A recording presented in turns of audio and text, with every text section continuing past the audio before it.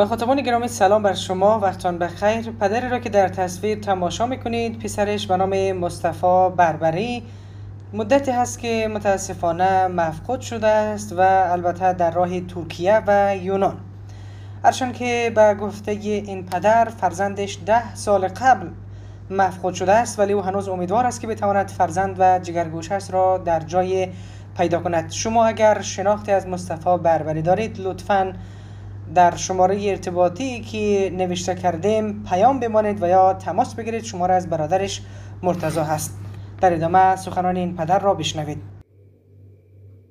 سلام علیکم. خسته نباشید.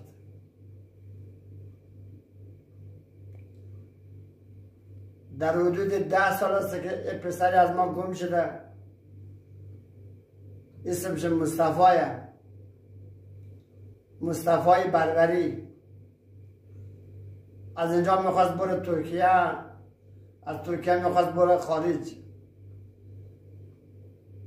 از اینجا حرکت کرد رفت ترکیه. در حدود 20 25 روز ترکیه بودن. از ترکیه گفتیم ما در تماس بودیم.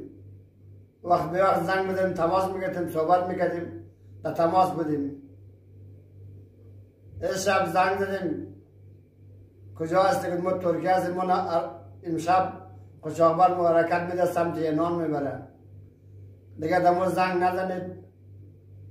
ما فلان گوشای ما خاموش تا که بور یک جا بیرسی بعدم در شما زنگ میدنیم دیگه ما هم انتظار مندیم تا دو سه روز دیگر سه چهار روز رد شد. معلوم نشد. دیگه هرچه زنگ زدم گوشش خاموش بود. تماس گرفتم گوشش خاموش بود. درکش معلوم نشد. به یه قشاقبرش زنگ زدم.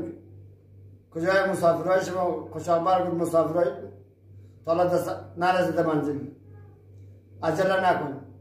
یک هفته رد شد.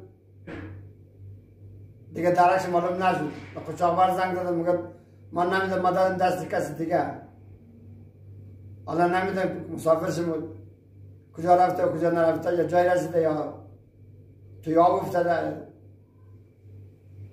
یا کدام جای دیگر رفته.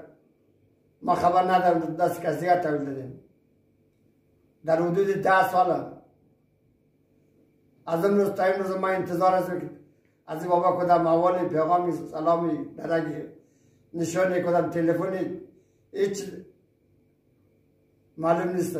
تمام جای دوندگی کرد پاگیر پایگیری زیاد کردیم.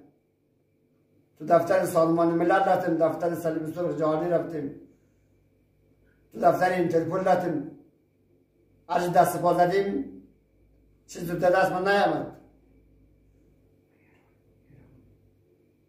دیگه ما یک مدت میشه ایران آمدیم موقع ایران هستیم. افغانی هستیم موقع ایران